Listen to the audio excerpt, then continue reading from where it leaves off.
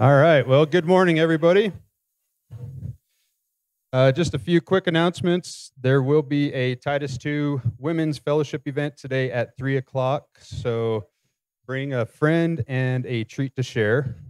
Um, also, uh, on April 28th, there will be a quarterly business meeting. So um, if you're uh, a member, be sure to attend that. We have some membership to vote on on that. So um, be sure to be there for that. And we will also be discussing our new mission and vision statement that uh, the elders and Shane have labored over for over a year. So, um, yeah, um, Myron and Shane and Dakota and Ray and Alan um, and Ozzy really worked hard on that. So um, there is a copy of it on that table in the back. So feel free to pick one of those up.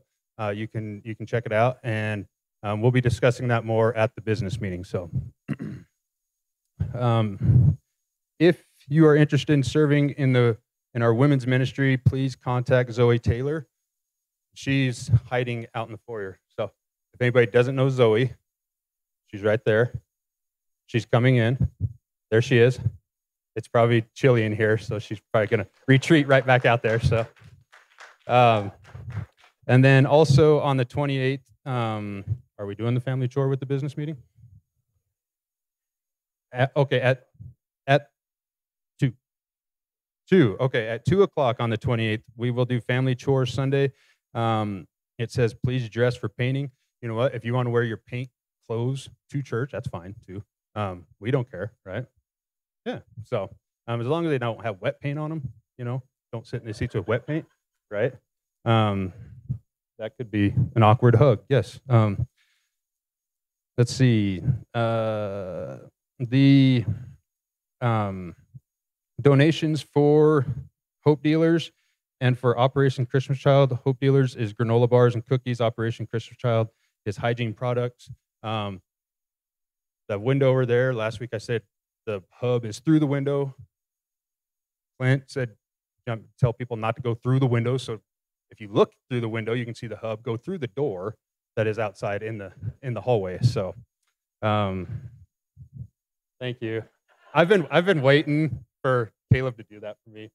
I, I was going to cue him one of these times on a really bad joke. So, um, all right, let's uh, let's go ahead and stand and do our monthly memory verse. Mark 14, 62. And Jesus said, I am, and you will see the Son of Man seated at the right hand of power and coming with the clouds of heaven. Mark 14, 62. Let's pray.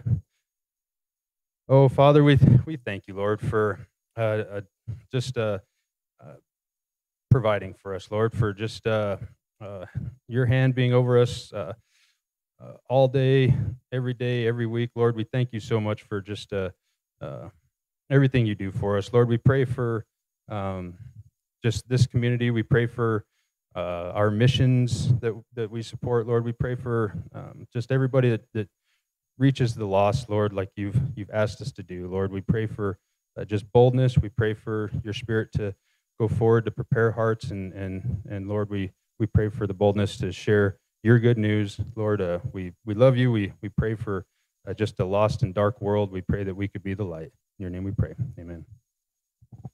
Oh, church.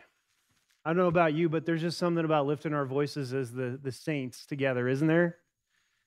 Man, that chorus together just brings a tear to my eye. How amazing it is to sing with the saints in praise and worship our God. If you're new here, I just want to welcome you. My name is Shane. I'm the pastor here. And uh, we have been going through a series called A Good King Goes to War. This is the end of the book of Mark. Um, and we've been in Mark a good long while. And don't worry for those of you, we will end it one day. But it is not this day. Okay, we have some good stuff to unpack today in God's Word. But as we do, I got a question for you. How many of you embarrass easily? Anybody embarrass easily? I know this may be a surprise to you all, but when I was a kid, I embarrassed pretty easily. In fact, so much so, do anybody remember the movie Little Rascals? You remember that movie? I could not, and to this day, still struggle watching that movie because I'd get so embarrassed for Alfalfa when he had to run through and swim through the pool and he lost his underwear. That just, I cannot handle that scene. I get so embarrassed for him. I get embarrassed easily. And sometimes that can hold us back, can't it? I want to share a video with you about a time that our embarrassment could hold us back. It's a movie. It came out quite a while ago now. Anybody remember the Courageous movie? Do you remember that movie? Here's a quick scene from that movie, and I will unpack it.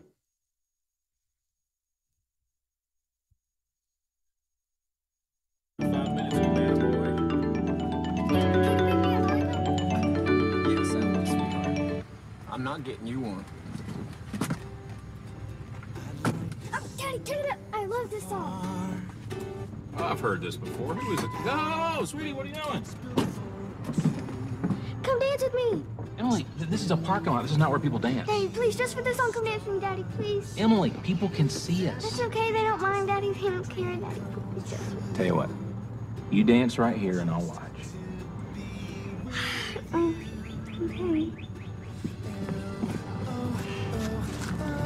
Okay, when you're ready to dance, this is what you do. First, you put your right hand around my waist like this. Then you hold your other hand out like this. Then we sway back and forth to the music. when we're together. and you can spin.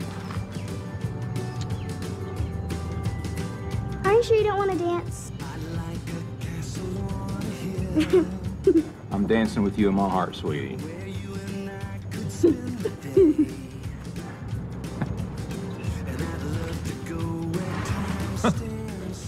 Emily, you trying to teach your dad how to dance? He won't dance with me. That's because he's a fuddy duddy with no sense of style. All right, everybody in the car. Mr. Fuddy Duddy's leaving.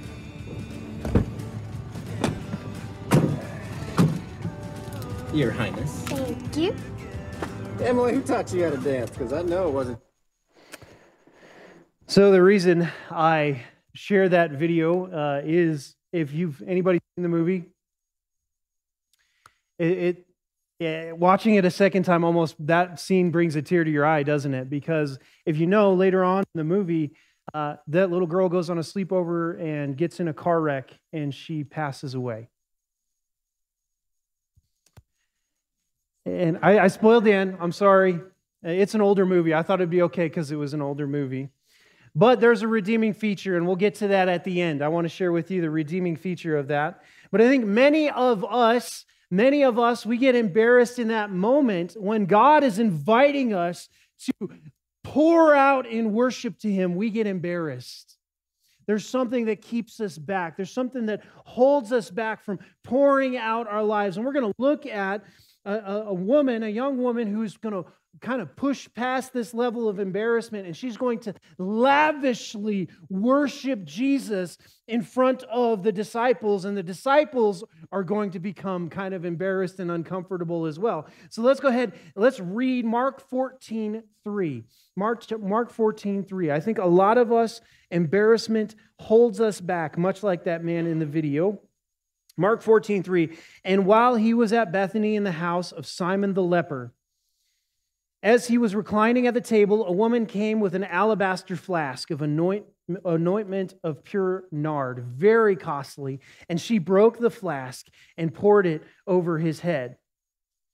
There were some who said to themselves indignantly, Why was the ointment wasted like that? For this ointment could have been sold for more than 300 denarii and given to the poor. And they scolded her. But Jesus said, Leave her alone. Why do you trouble her? She has done a beautiful thing to me. For you always, you always have the poor with you, and whenever you want, you can do good for them, but you will not always have me. She has done what she could. She has anointed my body beforehand for burial. And truly, I say to you, wherever the gospel, the gospel is proclaimed in the whole world, what she has done will be told in memory of her. Would you pray with me? Lord Jesus, would you give us courageous hearts to push past the bounds or the barriers or the things that may keep us back from fully understanding and worshiping and giving ourselves into worship with you, Lord. We pray that in Jesus' name. Amen. Yeah, that's that's a hard movie. It's a hard scene. This is a hard passage as you think about this woman Mary coming into the room and she begins to make everybody uncomfortable because she's so poured out and sold out for Jesus. And it makes me think about what are the things that I'm willing to pour myself out for? What are the things that I'm willing to pour myself out for? Maybe you find yourself asking that question. The most valuable thing I was thinking of is my kids and my wife. They're really the only people that I would stay up or wake up at 2 a.m. for. They're really the only people that uh, I have nightmares uh, all the time about getting hurt or about, they're the only people that I would, uh, you know, probably say that I would change their diapers. They're, the, they're sometimes the, the most valuable people in my life that, that I tear up over continually in prayer. Are there things in your life that you value so much that you don't mind doing and pouring yourself out for those things, for those people in your lives? We'll see here Mary, and, and we find out in the other Gospels, her name is Mary, this woman, she gets it. She gets Jesus' supreme value and worth. She understands it. And then she sets forth this example for us. It happens in the time of the unleavened bread. So if, if you look back just in the verses 1 through 2, you find out that Jesus is meeting uh, with the disciples. The bread didn't have, uh, so the idea of unleavened or the festival of unleavened bread was that the, the idea of the celebration was that the bread didn't have time to rise before they left Egypt. It was sudden. If you remember, this ties into the Olivet Discourse where Jesus said that he was going to come unexpectedly. Yes? You remember he kept saying, Be on, be on guard, be, uh, be alert, don't miss this. And so the unleavened bread was a, a way of just kind of sealing home that anticipation of Jesus coming. And then we have this beautiful passage where this woman really prepares Jesus for burial, and she doesn't know that she's doing that. She prepares him because at the end of this week, remember, we're still in the Passion Week, Jesus is going to go to the cross. He's going to pay the price for our sins and make us right with God by, by faith. And so then we get this that she's going to be remembered wherever the gospel is proclaimed throughout all history. That's pretty extraordinary. And so I want to set forth this idea that maybe we learn to worship like Mary worshiped. Can we do that this morning? Can we look at how she worshiped and can we learn from her example? Because obviously, Jesus saw her as an incredible example of worship. Let's talk about worship itself. If you remember last summer, we went through a series and we talked about what is worship? What is worship? I'm going to see this is your participation moment um, in the sermon. What is worship? How would you describe worship? Pastor Shane described worship. Love, praising God. What's the root word? Worthship. Worthship. It means when you worship something, you're ascribing value, you're, you're ascribing value and worth to it. You're saying, This is immense, this is incredible, this is, this is worthy of my worship. It's worth ship. If something is worthy enough to you, you will take extreme measures to make it a big deal, right? That is the essence of worship. And so I describe worship as worthship. You are ascribing value to your God and to your Savior. You're saying He value, He's important to me. He's valuable. He's precious to me. And so when you worship, you come and say, We ascribe value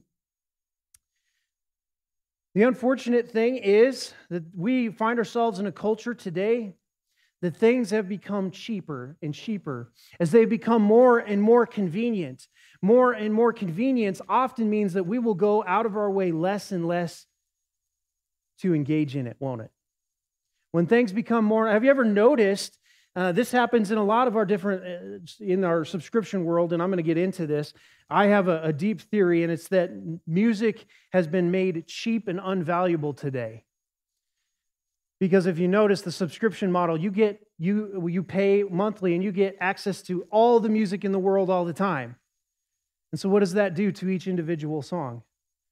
It becomes cheap. It becomes easy. It becomes cheap and easy. See, too many of us treat the church like this. It's become cheap and easy for us to attend. It requires very little from us to participate in. And then we wonder why we have a value issue when it comes to gathering for God's word with God's people to sing God's songs. It's because it requires so little of us, and we don't really like to pay what we used to when it comes to that. I, I don't know if you noticed at the end of our music today, we sang a song, it's called It Is Well. I don't know, did you guys notice that some of our older saints, we sang those first songs, and those are good for us younger people. We've, we've heard them before. Good, good Father. But did you see that some of the older saints kind of get up a little taller, expand their diaphragm, it is well. And they was like, Where have you been? This is awesome. That's because for a lot of you, that song has a great deal of meaning to it, doesn't it? Maybe you remember loved ones. Maybe you remember singing that in church as you were a kid. There's a value to that song. There's a worth to that worship, isn't there? There's kind of that idea that the sense of that the church has become so convenient and we've catered to so many different opinions and different ways of doing things that it's become so easy, it's become cheap. Church has become cheap. When Mary steps into this room, she instantly displays and shows everybody in that room how important Jesus is to her beyond everything. And she does a couple of things. She shows us in a couple of different ways. She, number one, shows us that Jesus is worth more to her than money. She first shows us that Jesus is worth more than money. Let's talk about this alabaster jar that she breaks open. This was something that was very expensive. How many of you remember how much it cost to get your first car? Do you remember? It was probably a little less than the cars cost today. But you were very excited about that car. This alabaster jar would have been around that same type of value. It's hard to say because we live in a different world today, but it would have been something like uh, thousands of dollars. We're looking at several months, six, six or so months worth of, of salary during a day. This was a big, lavish item. It was rare, it was hard to have, and you would typically be passed down among your family members, and it was for a burial, it was for a funeral. And so for her to take what was her family's, rightfully, this was her family's, to take the wealth of her family and pour it, break it, and pour it out at the feet of Jesus was showing everybody in that room that money pales in comparison to the surpassing worth of my Savior. That was worth ship. There was nobody in that room that questioned the fact that she saw Jesus as invaluable.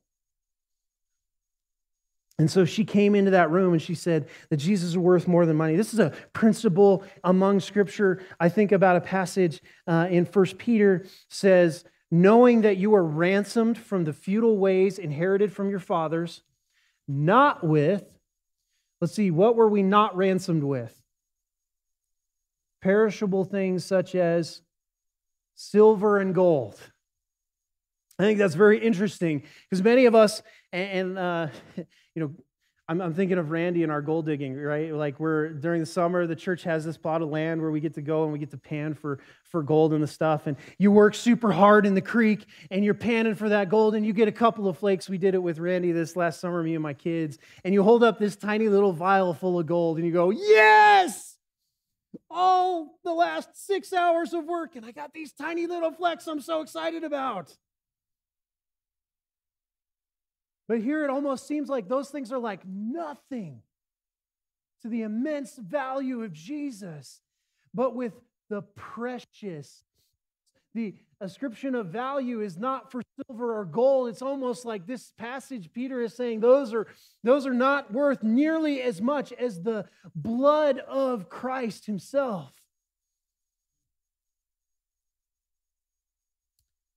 Like the like that of a lamb without blemish or spot. So Jesus is worth more than money. She poured out the best that she had. This is clearly the best that she, she had. And so, my question for us today is how do we, as God's people, make this proclamation? How do we make sure that we tell our own hearts and the people around us that Jesus is clearly worth more than the things that we have? Well, it means pouring them out, much like she did. It makes me, it reminds me when I was a college pastor, we had this summer missionary program, and I had this college student, and he had his first car, and he was super excited about it. And uh, but he didn't have a job, and he didn't have much money. And we talked about, hey, we have this summer mission opportunity, and uh, I, I told him, I think you're a shoe in. And he said, you know, I, I really I need to make money this summer. I, I'm living on top ramen already. I don't know how I'm going to make it through college.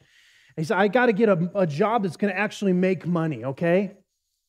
And I said, okay, well, you pray about it. You pray about it. He came back, and you know what he did?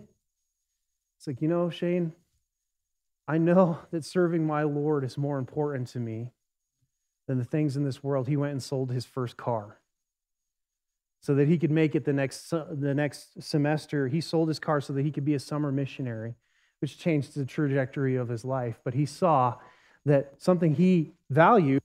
You guys remember that love you have for your first car? Some of you, your love for that first motorcycle? Can you imagine what it would say to the world?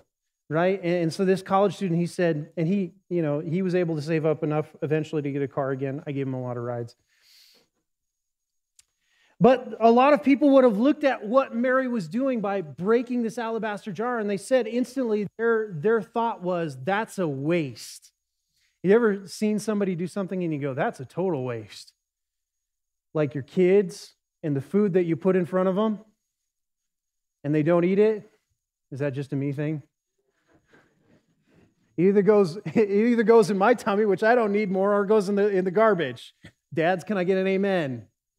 right? And, and the, there's this sense that it feels like a waste. It feels like a waste. You get this sense that the room feels what she is doing is so wasteful, but she gets something that others do not. Again, the surpassing value of Christ. She's willing to what the scriptures say kill the fatted calf. This principle of killing the fatted calf was when something occurred that was so worth it. You would only kill the fatted calf to celebrate, to lavish over something that was a big, big, big, big deal. It's not like the beef that we have access to now today, where we get steak every night if you want. Right? It was like this was a big, big celebration. The idea of killing the fatted calf. This was brought home to me when I was a college pastor, and I'd, I'd invite starving college students to my house, and I would cook a steak on my grill for them and some of them would almost tear up as grown men because they were so excited to have a steak because they were living on top ramen. Um, so kill the fatted calf. So the waste, they, they would have viewed it as wasteful, but she gave the best that she had. She killed the fatted calf. This is what she had, and she brought it to the Lord in worthship. It makes me think, and I've already talked about this a little bit, the subscription model that we have applied to so many different aspects of our life. Have you ever noticed how many different subscriptions you have? have? You ever counted them? Younger some of you, you have a subscription to Netflix, you have a subscription to Hulu, you have a subscription to Disney Plus, you have a subscription then to Spotify or Pandora. Anybody have subscriptions to where you can't even remember how many subscriptions you have? It's a real problem today, right? But what it essentially does is it just makes it convenient and easy to gorge yourself on different types of entertainment. You guys ever noticed uh, that now when you watch a movie, maybe you don't enjoy them as much as you did when you were a kid? Do you remember that? There's certain shows that you watch, and um, I was trying to explain to my kids this idea of this thing called commercials. because you had to endure commercials so you could get to your favorite show. Like there was a cost in it for you. I think the subscription method has absolutely destroyed our value system in today. We don't value art because it comes cheap. We don't value music. As AI gets into the game and is now able to create all the different elements of culture like art, music, and movies, which it's working on doing that without human input, um, there's this idea that it's going to get even cheaper still. All of those things, by the way, did you know that the root of all of those things was to worship the Lord? Art to worship the Lord, music to worship the Lord, entertainment. Why does he give us those things, music and arts? That always, by the way, in, in the past, in history, art, music, and entertainment tended to drive culture. It tended to drive culture. That's why Christianity, when we put into the, the, the deepness of songs like It Is Well With My Soul, it changed culture, didn't it? But we've cheapened many of those songs and we've settled for what I'd call a bargain spirituality. A bargain spirituality. We look at where it's the most convenient, that it's, it's going to cost me the least amount of time and resources. I have a good friend that used to get up early in the morning and he had, uh, I'd call it his science uh, project, and it was how he brewed coffee. And he'd sit down every morning and he'd have this uh, set and he'd pour the coffee in. He'd have a French press and he'd measure it out, and it looked like he had beakers in there. I was like, "What kind of science magic are you doing to your coffee?" I was like, "You know, you can just put the press the button on the drip coffee, right?" Can I get an amen? I said, "Why do you do that?" He said, "It forces me to slow down and to pay the cost for my coffee. And he said, I found that I enjoy it more, that I value it more. How many of you multitask? Any multitaskers out there? Multitasking cheapens everything you do, doesn't it?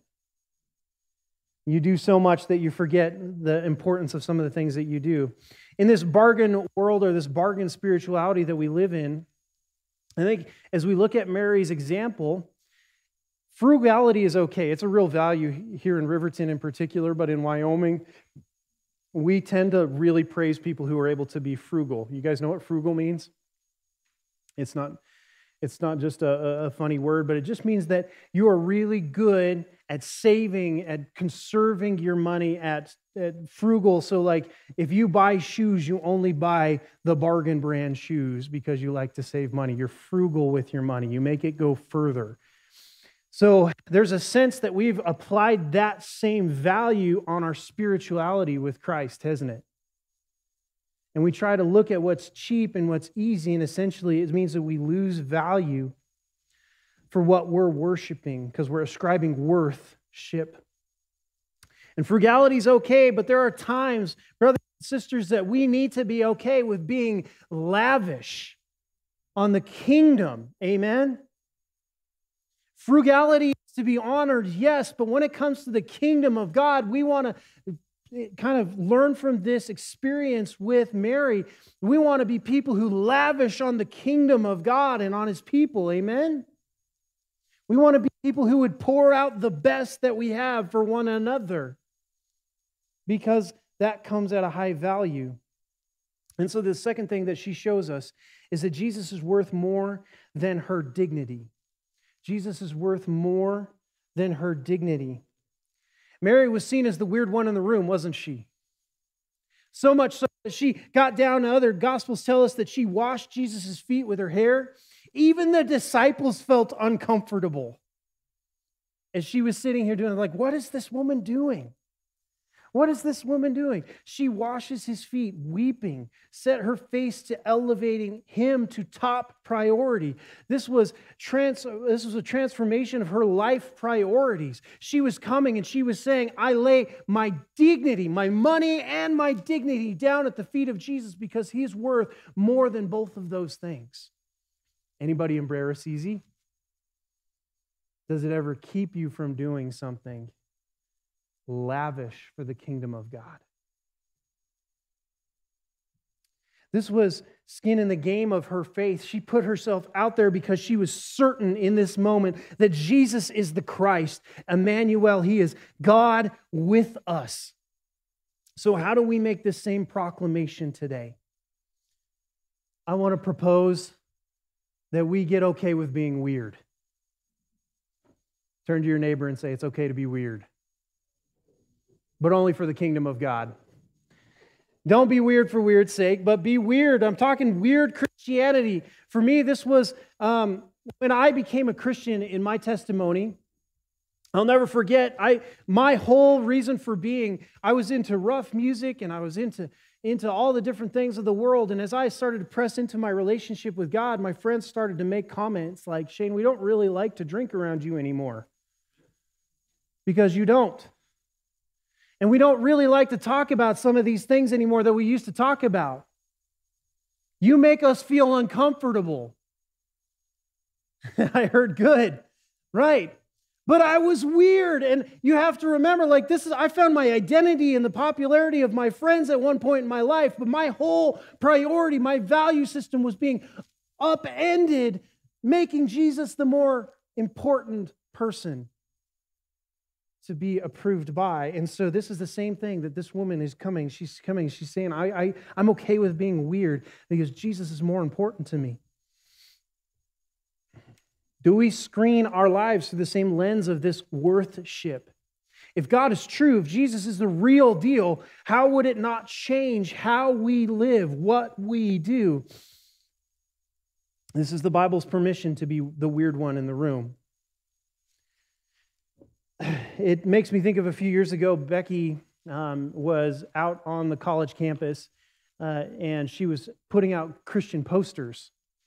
And it was at this particular time that we had a lot of feedback from people on campus that were telling us that we just made them feel awkward because we talked about Jesus a lot.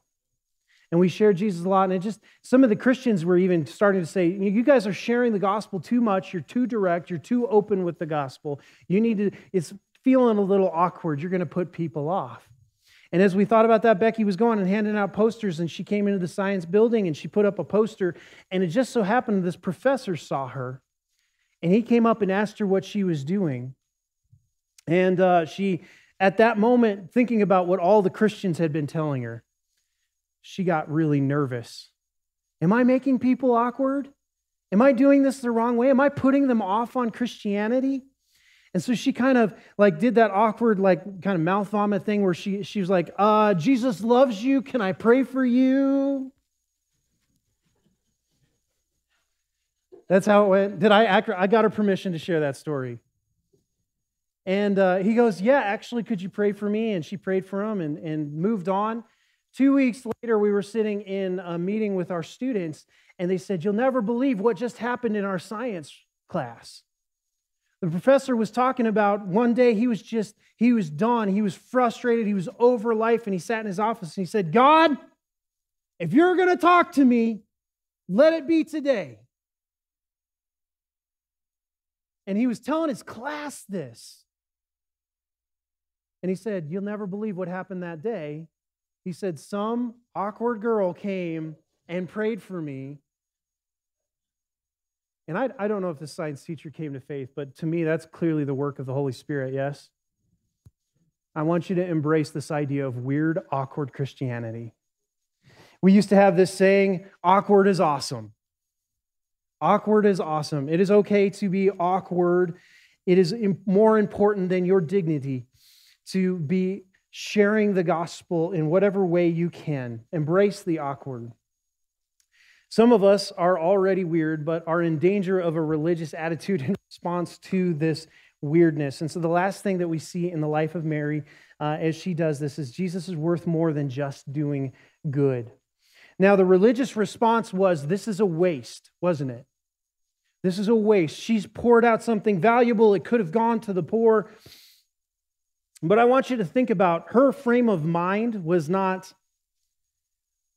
what is the highest good I can do? She just sees Jesus and wants to run and elevate him, yes? And so she, it's this principle of doing versus being. So many of us in our Christian walk have the mentality that I need to do more. I need to accomplish more. I need to polish my life up better. I got to do more good for more people. I want to caution you about that mentality because that's an exhausting mentality. Jesus said, It is finished on the cross. And so, doing is only out of being with Jesus. When we do good things, it's because we're pursuing Jesus.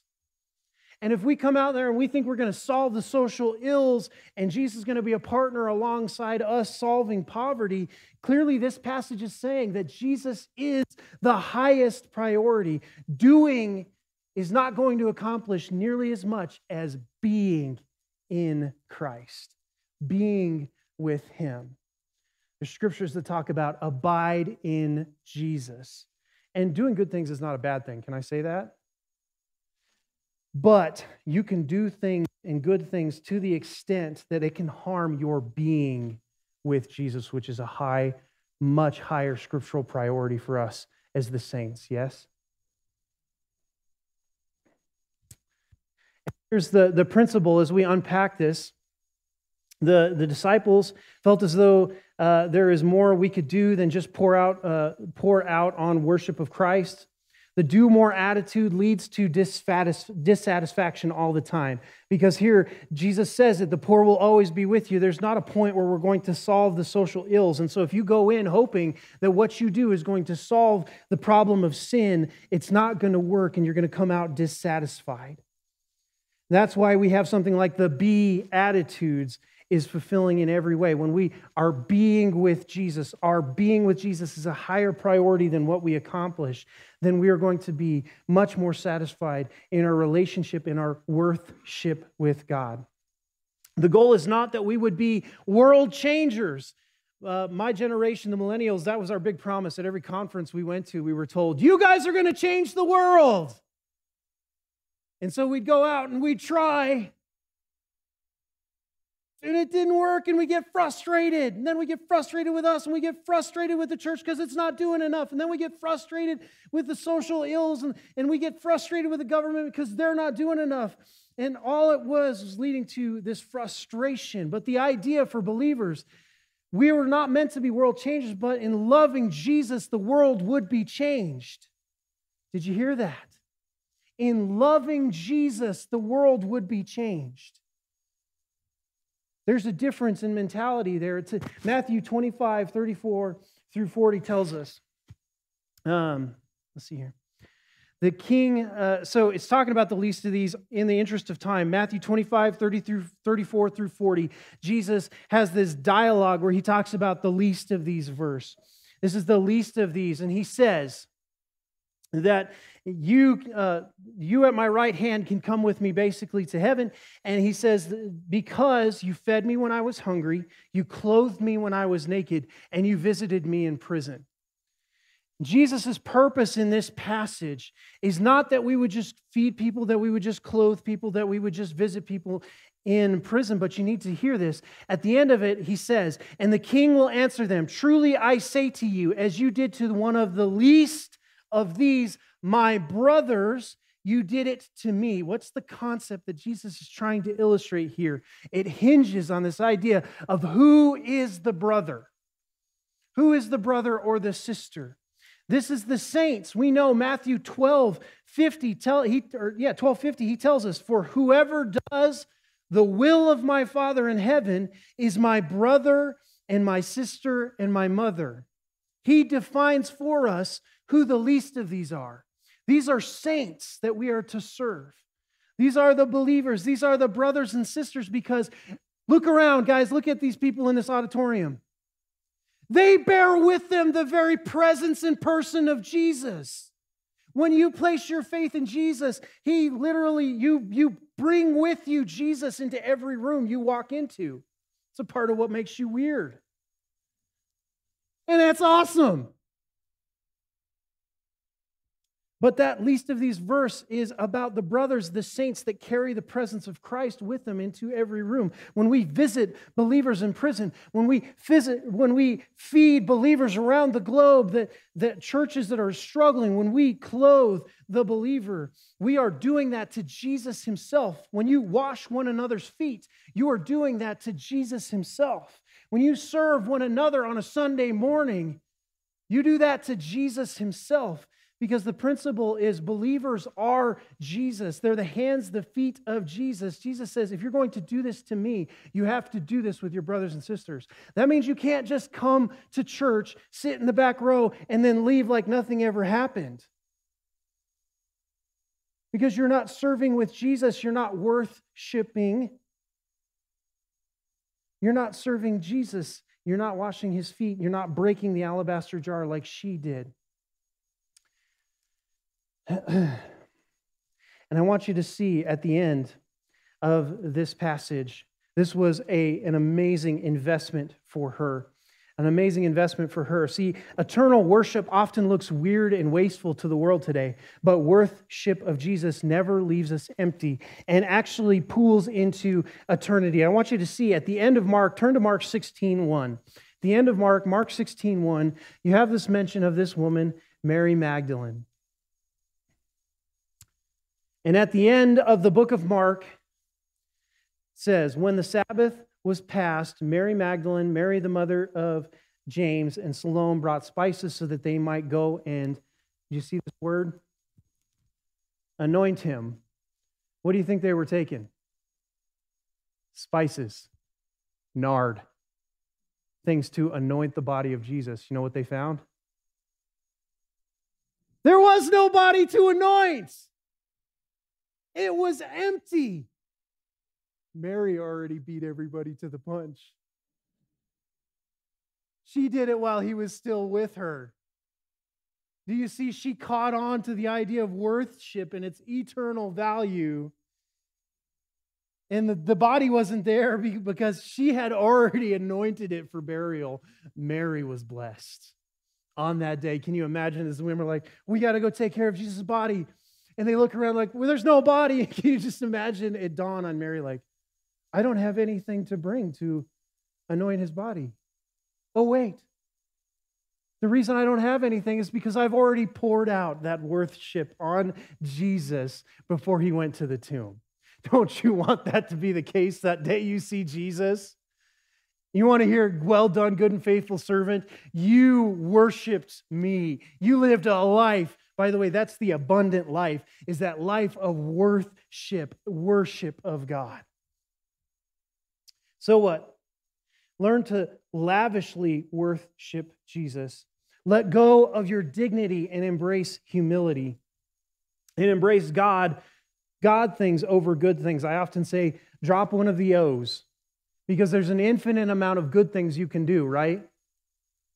We want to be people who ask, what are the God things? Because sometimes the good things can get in the way of doing the God things.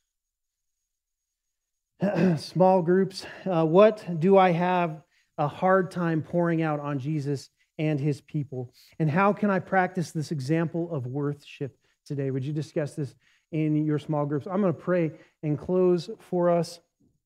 And I believe we have a, a financial update um, from Rachel today. So, for those of you who are members or interested in the family business, stick around for about five minutes and Rachel will give us a heads up. But would you bow your heads? Would you close your eyes? Would you check in with the Lord and ask, How can I walk in worthship with you, Lord? Father God, we come here today and we want to pour out our lives. We don't want to serve some cheap God, we know that you are so much more. You are worth everything, everything. Lord, let us be people that are willing to pour ourselves out for you. Lord, we pray that in your good and holy name, Jesus. Amen.